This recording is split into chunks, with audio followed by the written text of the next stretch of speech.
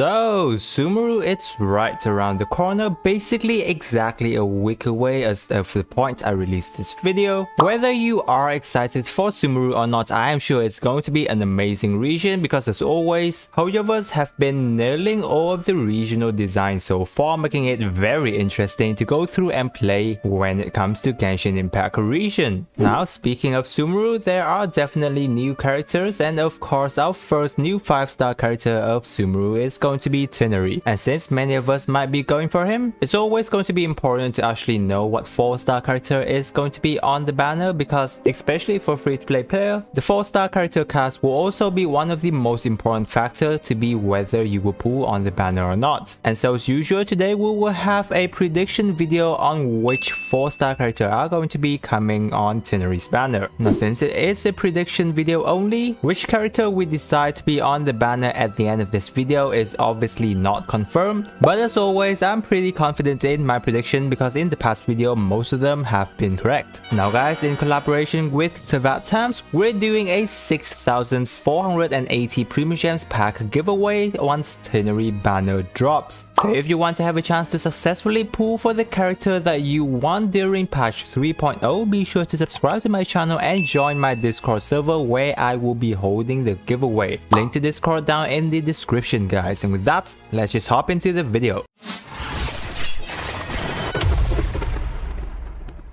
Okay, speaking about Tighnari's banner, we've already got it confirmed that Collei is going to be the first character going along with him. So that will just make our whole job of prediction a lot easier now because we only need another two slots. As usual, our Amber, Lisa and Kaeya sadly will never appear on the banner. And also any of the characters that have appeared in patch 2.8, which are Yunjin, Xinyan, Bennett, Heizou, Thoma and Ningguang is most likely not going to be appears as well. So that's already a decent amount of characters that have been crossed out. Now we will predict the two remaining characters and how I will do it is I will rank the characters based on the chances from low to medium and high chance. For low chance, first is going to be Kuki Shinobu, Goro, Chongyun, Yanfei, Barbara, Noelle, who have all appeared since banner 2.7 and then there will also be Rosaria, Sayu and Sucrose who appeared in patch 2.6. For medium chance, there's going to be Xiangling, Razor, who both appeared in patch 2.6, and then Diona of patch 2.5. Now the reason why Rosaria, Sayu and Sucrose who was in 2.6 but was put on the low chance is because they have the least resonance with Tighnari, and Xiangling and Razor would have a lot more resonance with him, so it has a bigger chance of appearing on his banner. And then finally for high chance, we will have Sara, Fischl, who appeared in 2.5, and then Xingqiu and Beidou who appeared in patch 2.4. So these four characters would have a pretty big chance of appearing on Tighnari banner because especially of the resonance. Since Dendro will be reacting very well with Hydro and Electro, they are perfect to be on Tighnari's banner. Firstly, we'll look into Xingqiu who I believe it has the most potential of being guaranteed on his banner because of out of the four characters who are 3 Electro already, Xingqiu is the only one who is Hydro. And he hasn't been back for the longest time as well, so his chance is going to be the biggest. Now, since Tighnari is focused on charge attack, it might not work too well with Xingqiu, but it can't really be that bad because the only thing you need to do is to weave in one or two normal attack between charge attack when you're playing Tighnari. And as always, Xingqiu has always been one of the top character in terms of support, as well as dealing off-field damage, so we can't really complain if he is on the banner. Next is Beidou